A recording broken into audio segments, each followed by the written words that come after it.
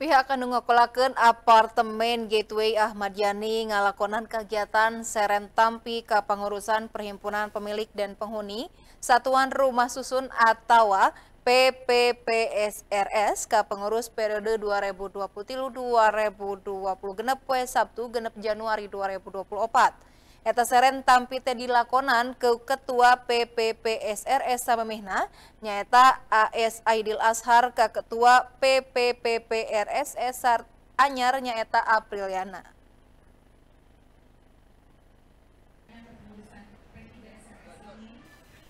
Apartemen Gateway Ahmad Yani Kota Bandung ngelakonan kegiatan seren tampi kapangurusan Perhimpunan Pemilik dan Penghuni Satuan Rumah Susun atau PPPSRS. Kapangurusan periode 2023-2020 genep poe Sabtu genep Januari 2024. Eta seren tampi teh dilakonan ku Ketua PPSRS Samemehna periode 2021-2023 AS Aidil Ashar ke Ketua PPP SRS Anyar periode 2023-2020 genep Apriliana. Turta disaksikan ku Kepala Seksi Pengawasan dan Pengendalian Perumahan Dinas Perumahan dan Kawasan Permukiman DKPP Kota Bandung Lena Yuliati Mentari serta sejumlah ing numboga jeung nu nyicingan apartemen Gateway. Kepengurusan PPP SRS periode 2023-2020 genep Apriliana kacatat secara resmi di Dinas Perumahan dan Kawasan Permukiman DKPP Kota Bandung luyu karena surat keterangan S garis miring LH titik 0 hiji titik 07 titik 04 garis miring 2808 DKPP garis miring 7 garis miring 2020 tilu. Dari DKP Eh, dengan telah terlaksananya serah terima PGSRS dari periode terakhir 2021 sampai dengan sekarang 2023 eh, sampai dengan 2026 harapan kami dari DPKP semoga uh, kepengurusan ini berjalan dengan lancar dan juga meneruskan apa yang sudah pengelolaan yang sudah terjalin dan meningkatkan juga pengelolaan Kemudian ada program apa aja sih di P3SRS ini Bu? Kepada kalau program dari P3SRS mungkin lebih kepada Pak Ketua yang nanti Pak programnya apa saja. Mungkin kamu dari kami dari DPKP uh, nanti pas pelaksanaan uh, apa namanya laporan-laporan daripada keuangan untuk pengelolaan dapat dikonsultasikan uh, apabila ada hal-hal yang memang perlu untuk.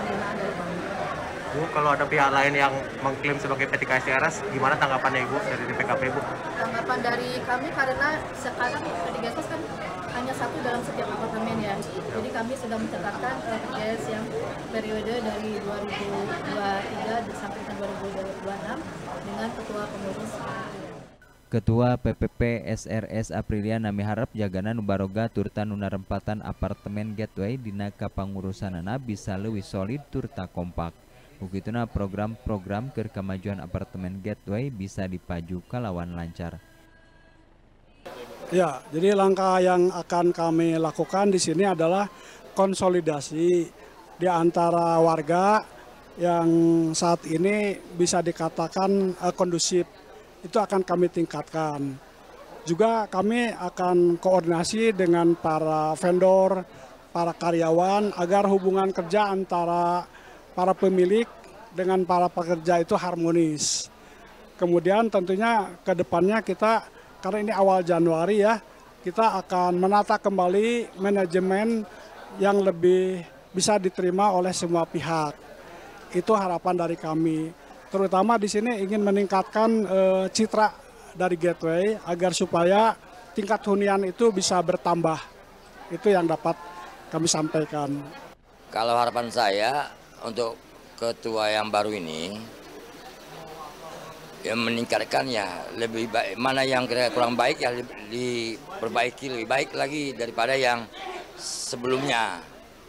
Saya pikir hanya itu saya pikir saya ya kan? Jadi kita saling-saling masih masih bekerja sama untuk meningkatkan apa-apa yang perlu kita benahin di Gateway ini. Itu aja Pak ngaliwatan kepengurusan PPP SRS anu dilungguh ku Ketua Apriliana nandeskeun bukti yen Dinas Perumahan dan Kawasan Permukiman Kota Bandung ukur nyatet hiji ka pangurusan anu resmi. Yuana Kurniawan, Bandung TV.